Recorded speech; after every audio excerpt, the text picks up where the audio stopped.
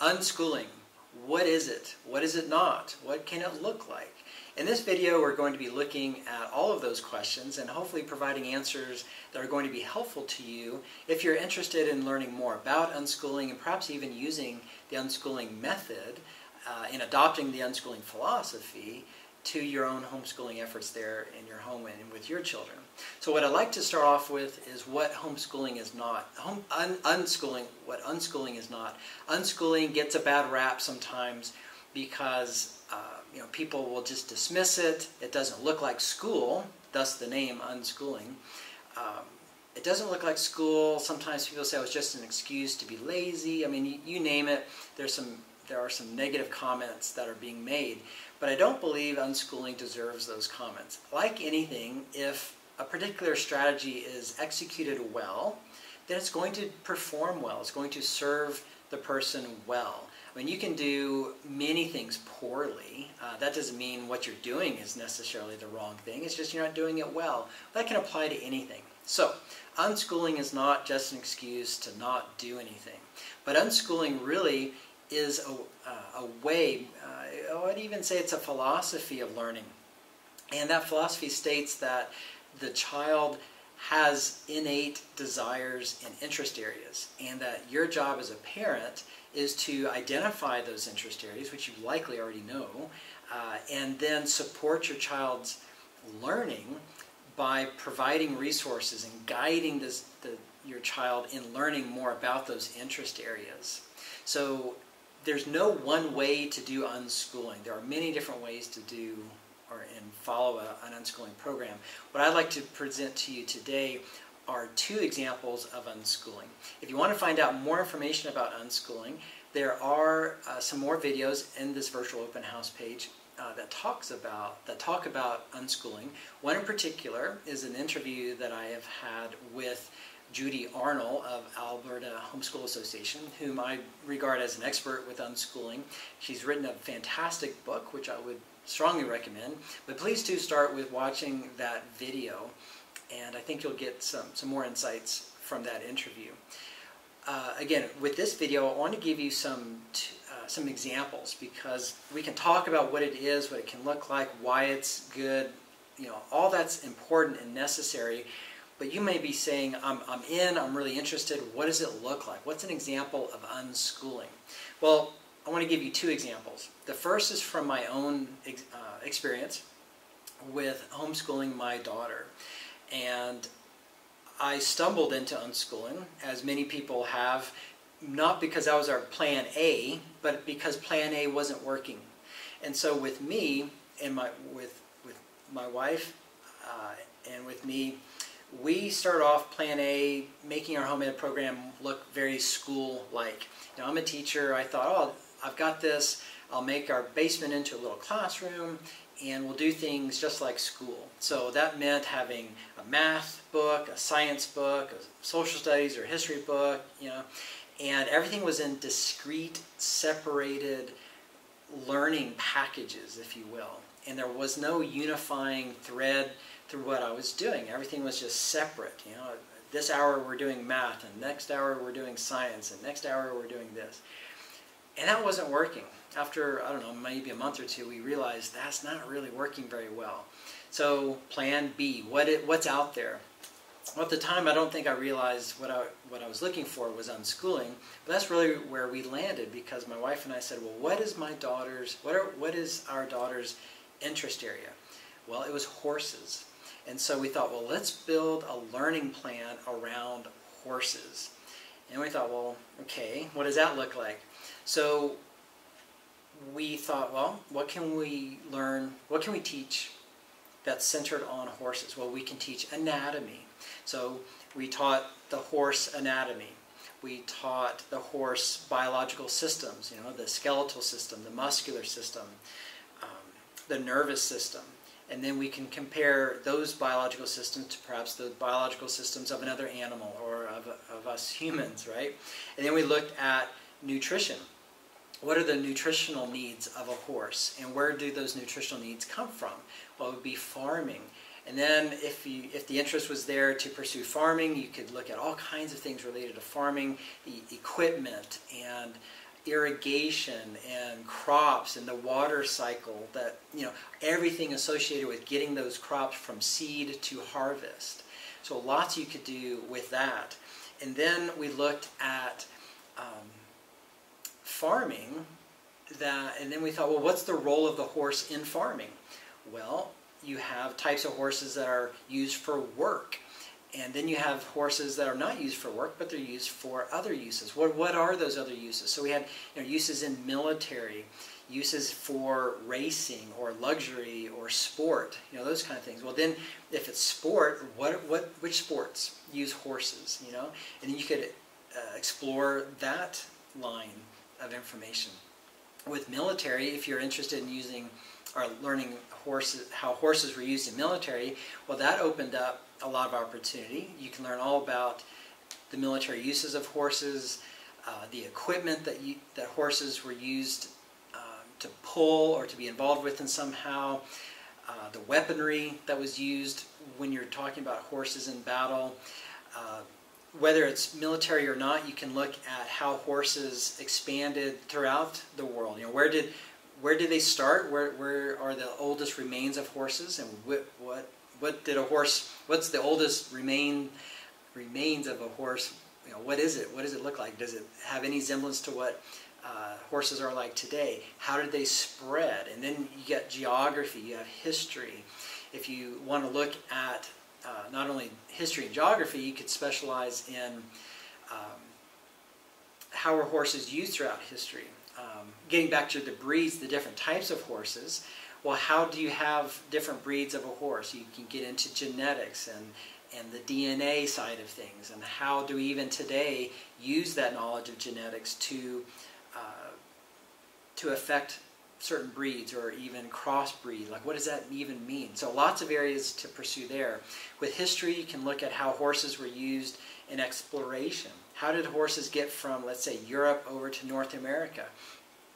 And well, if you're looking at how horses got from point A to point B, you can look at the ways they got from point A to B. How did they travel? If you're talking about going over the ocean, you know, who paid for that travel? Or why were they included on the ships? Which ships? You know, um, again, who's paying for it? Which king or which queen, which empire was using horses and how are they using the horses? Again, lots of history and geography, but it's all based on horses.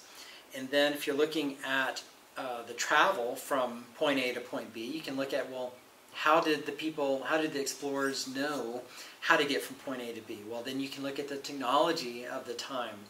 Uh, and oftentimes that technology relied on astronomy. So, you know, you can pursue astronomy uh, and technology of the time. And oftentimes people say, well, that's all great, but what about math? What about grammar? That's really not a problem the only limit is your creativity in, in how you're going to integrate the math and language arts into what you're teaching. You know, with literature and grammar and spelling and vocabulary, you can integrate all those things into what you're doing uh, with unschooling. In this scenario, you can look at literature written about horses. And then, of course, as you're reading the literature, you can look at uh, special words, vocabulary words. Your, your child can actually create his or her own vocabulary list that is based on the literature that he or she is reading, uh, based on um, on a horse theme. So you can have you can build vocabulary. You can make sure spelling is if that's important to you. Make sure those vocabulary words are spelled correctly. Uh, grammar, you can look at how the sentence structure. You, I mean, you can go deep if you want. If you're talking about first grade, second grade, obviously you're going to adapt what you're doing to your child's you know, age and maturity and and, uh, and other factors. But unschooling is is not limiting. You can get math in there. You can uh, look at the technology of the day, uh, learning how to navigate the seas, you know, with different instruments. Well, how did those instruments help? How did you use the instrument?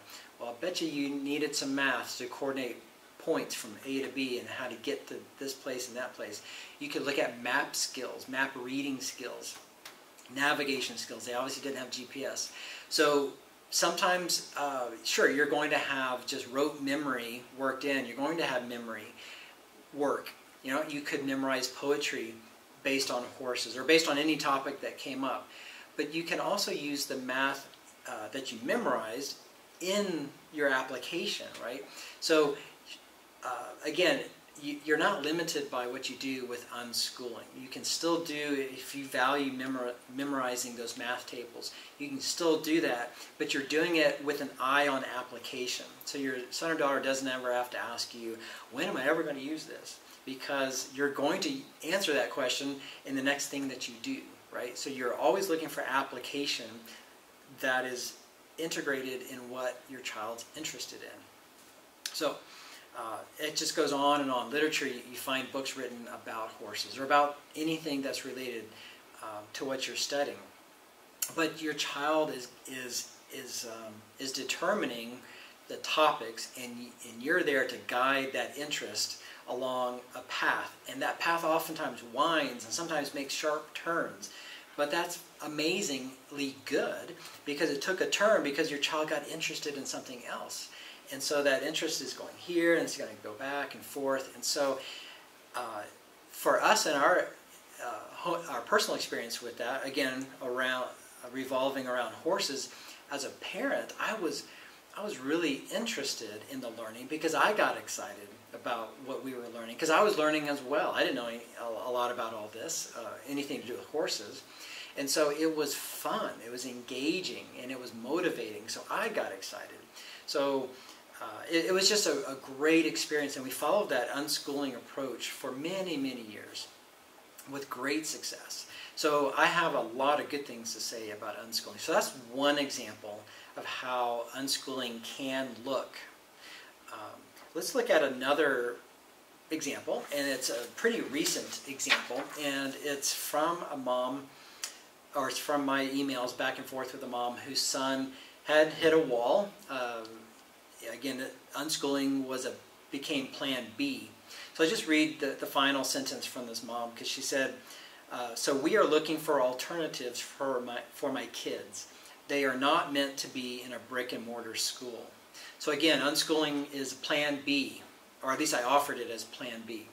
And so I started at the starting point, which is finding the interest area of the children. Right, each child interest. So I said, what's, I started with the son, because um, that was her, that was the one in most need of, of a solution. So started with the son. And I said, what does your son really like? What's his interest area? And she emailed back and said, well, he's actually interested in the life of Alexander Hamilton, who was a political figure in the colonial times in the, what's now the United States. And so I said, great, let's start with Alexander Hamilton. So I just did a quick search uh, with for Alexander Hamilton. I didn't really know much about him, and so I learned a few quick facts about him. Uh, one was that he was one of the authors of the Federalist Papers. So I said to the mom, well, you should um, use the Federalist Papers. And there's, there's a lot I can say, but I don't want to go on and on on one video, but find out things about Alexander Hamilton. He was an author of the Federalist Paper. He was a military officer. He was a British citizen. He's an American politician. He had a so you can do a lot with the background, you know, biographies, primary documents, meaning documents that were written in his day, whether he wrote it or documents that would have been influential of, of the time. You could look at the pol politics of the day. You can get into geography in terms of where, as a military person, where did he fight? Um, what were his roles? What were the military, what were, um, say, the technology of the day? What were the military weaponry that he would have used? Which battles um, what was he involved with? Were they successful? How did he get from soldier to politician? Then I learned, and, and why was he writing essays in the Federalist Papers? And what impact did that have? Uh, you can look at the history of the colonies at the time. What significance did the Federalist Papers play in the formation of the of the um, what became the United States, the Declaration of Independence, the Constitution of the United States, right? All these primary documents. How can you trace a lot of the, the key parts of those, um, not only the documents, but the events that led up to those documents being written and signed? How were they influenced by the Federalist Papers? How are they influenced directly by Alexander Hamilton's writing? You know, what did he do um, to promote those ideals as he, as he recorded them in the Federalist Papers. Uh, I found out that he had that famous duel with Aaron Burr. You can look at the history of duels. Why was that? Why were duels socially and legally acceptable in their day? Um, that alone would be a very interesting study. And so just on and on, you can look at uh, resources that um, are available for free. You know, YouTube has some great uh, history channels like Crash Course in History. Uh, you can go to library. You can just do a lot of things around Alexander Hamilton. You know, have your, for this situation, I encourage the son to learn a lot about uh, the person and then as a parent to come alongside and also be learning with the, the son and finding other resources and asking questions of about Alexander Hamilton and encouraging the son to pursue the answers. And you can look at all kinds of ways, you know, but some people will say, well, how do you do math? How do you do this? How do you do that? I would say, especially in this situation, this is a plan B. This is a child who doesn't want to keep going to school, wants to drop out. That math might just wait for a while, right? You don't have to do everything all at once. Build that interest. You have to, you're, you're rebuilding and so you build that interest to learn, and you you just see where that interest comes up. You'll it'll be a very natural thing to see where math could play in or where science might come in, right? Um, you you just guide. You're guiding, and you're looking for opportunity for all kinds of learning. But the child is is at the focus, I would say, at the, at the center of it all, with his or her own interest areas, and that's what's leading the learning. And you, as a parent, I think. Uh, again, your role changes from being a teacher, a, you know, a disseminator of information, to now being more of a guide. And you're encouraging your son or daughter in those interest areas, and, you, and you're seeing where, where it goes. So those, those are two examples of, uh, of unschooling that, uh, that I can offer you to you. Again, there are other experts out there who have way more to say on this. So please pursue it. There are, Judy Arnall has, a, has many, many videos in YouTube. So just uh, type in her name, Judy Arnall, A-R-N-A-L-L, and then unschooling so to learn more about it. So many more resources out there on unschooling, but it's a great uh, way to learn. It's a great philosophy about teaching and learning, and uh, and hopefully this video has been helpful to you in that in explaining to you what what it could look like and what it did look like for me and for my family. So again, thanks for watching, and let me know if you have more questions about unschooling. So hopefully I'll hear from you soon. Thanks. Bye.